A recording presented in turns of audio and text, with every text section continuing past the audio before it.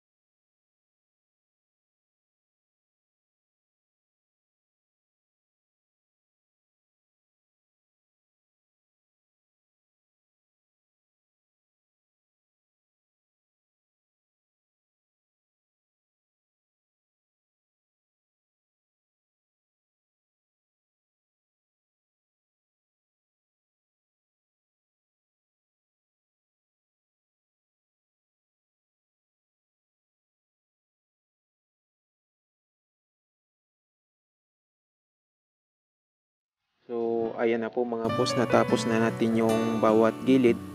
At sa pagkakanto mga boss, ah, hindi na tayo gagamit ng kahoy o pangkanto na kahoy.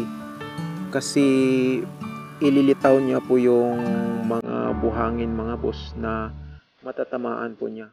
At doon tayo matatagalan sa pagkanto dahil ah, i-retouch na naman natin mga boss. So mas mabuti pong uh, rodilang bakal kasi mas madali po itong gamitin mga boss.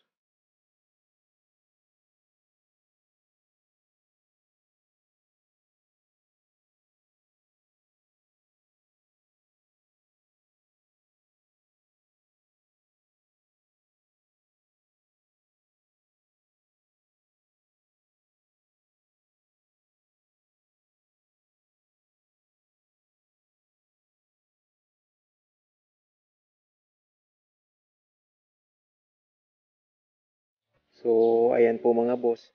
Alisin lang po natin yung mga nakalampas na porong simento doon sa magkabilang kanto.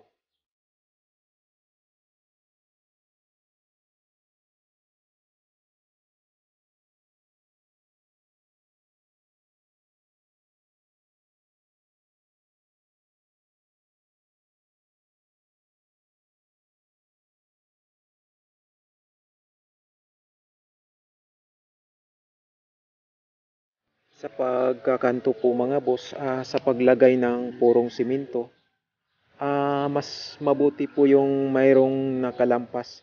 Kasi kung mayroon mang mga butas na maliliit doon sa pinakakanto ay malalagyan po ng purong simento mga boss. So tatanggalin po natin yan. Gamit po itong rodilang bakal po natin mga boss. Gamit lang tayo ng foam para palaging malinis yung ating gagamiting rodilang bakal mga boss.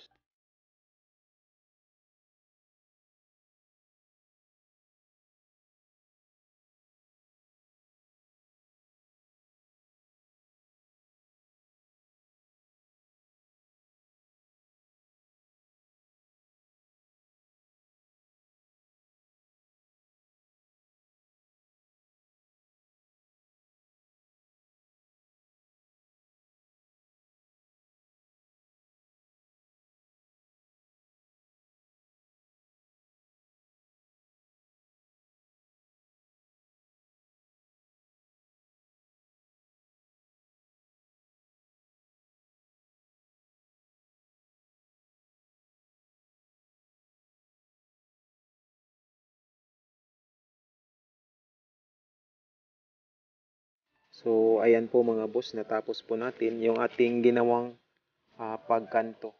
So, ganyan lang ka-simple mga boss, no? Ganyan lang kadali yung ating ginawang pagkanto ng ating ah, pintuan mga boss. So, pwede natin gawin yan sa kahit saan, sa bintana o kahit saang kanto mga boss o sa mga poste. So, magandang gamitin yan mga boss na paraan. Dahil ah, hindi mahirap gawin mga boss.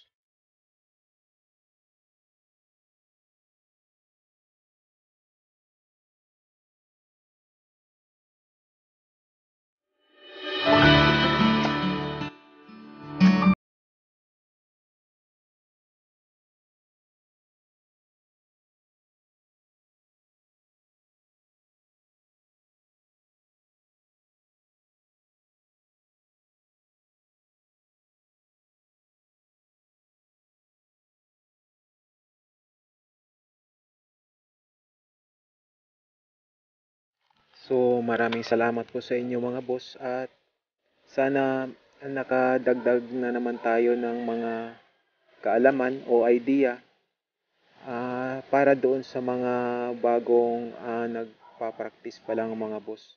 So, kung nagustuhan po ninyo itong video natin, ah, paki-like na lang o subscribe na din yung mga bago pa lang dito sa ating channel. So, maraming salamat po sa inyo at God bless po.